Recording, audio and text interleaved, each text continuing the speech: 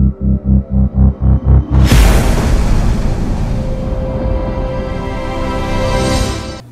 viewers welcome to SRV media this is N K இந்த வீடியோவில் லத்தி படத்தோட மூவி ரிவ்யூ தான் பார்க்க போகிறோம் படத்தோட ஸ்டார்டிங்கில் ஒரு நூறு நூற்றம்பது பேர் அடியாளுங்க. ஒரு கன்ஸ்ட்ரக்ஷன் பில்டிங்கில் யார் யார் எங்கேயோ தேடிட்டு இருக்காங்க யாரையோ தேடிட்டு இருக்காங்க.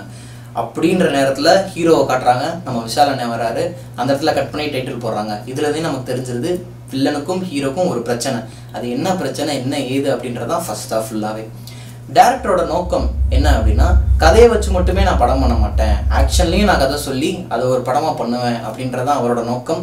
செகண்ட் ஆஃப் ஃபுல்லாமே ஆக்ஷன் தாங்க. ஃபர்ஸ்ட் ஆஃப் வந்து ஸ்டோரி நம்மளால் ப்ரிடிக்ட் பண்ண முடிஞ்சிடும் போ படம் போக போக போக நம்மளால் ப்ரிடிக்ட் பண்ண முடிஞ்சிடும் இன்டர்வல் இந்த இடத்துல தான் வந்து முடியும். இதுதான் நடக்க போது நமக்கு தெரிஞ்சிடும் இருந்தாலுமே இன்டர்வலில் அவ்வளோ இன்ட்ரெஸ்ட்டாக கொண்டு போயிருந்தாங்க. சின்ன சின்ன எலிமெண்ட்ஸ் மூலயமா.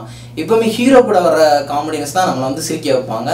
சில இன்ட்ரெஸ்டான விஷயங்கள்லாம் பண்ணுவாங்க. ஆனால் இந்த படத்தில் வில்லன் கூட இருக்கிறவங்கலாம் காமெடி பண்ணிகிட்டு இருக்காங்க.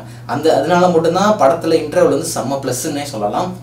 முக்கியமான ப்ளஸ் ஆக்ஷன் தான்.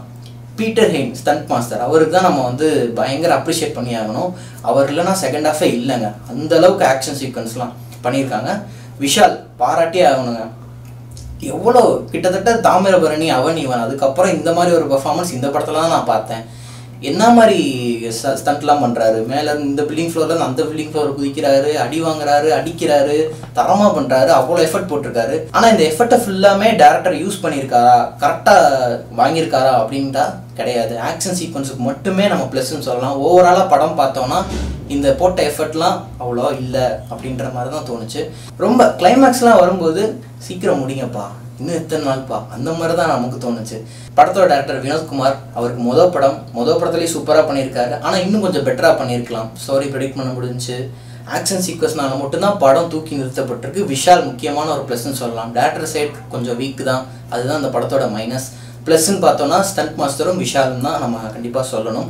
கிளைமேக்ஸ் வரப்போ கொஞ்சம் லேக் ஆச்சு. ரொம்ப இழுத்த மாதிரி இருந்துச்சு. மற்றபடி யுவன் இவனை பற்றி சொல்லணும் அப்படின்னா இந்த படத்தில் ஆக்ஷன் சீக்வன்ஸ்லாம் வரும். அப்போ வந்து சில சீன்ஸ்லாம் போயிட்டு இருக்கும்.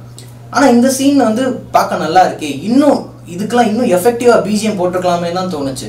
ஏன்னா இதுக்கு முன்னாடி வந்த நானே ஒரு வேன் மாநாட்டெல்லாம் பார்த்துருப்பீங்க. அதெல்லாம் பிஜிஎம் போகிறாரு ஏன் இதுக்கு பண்ண மாட்டாரு இதுக்கு இதுக்கு வர மட்டும் ஏன் டவுன் ஆயிடுறாரு? அப்படின்ற மாதிரி தான் தோணுச்சு. பிஜிஎம் இன்னும் எஃபெக்டிவாக போட்டிருக்கலாம்.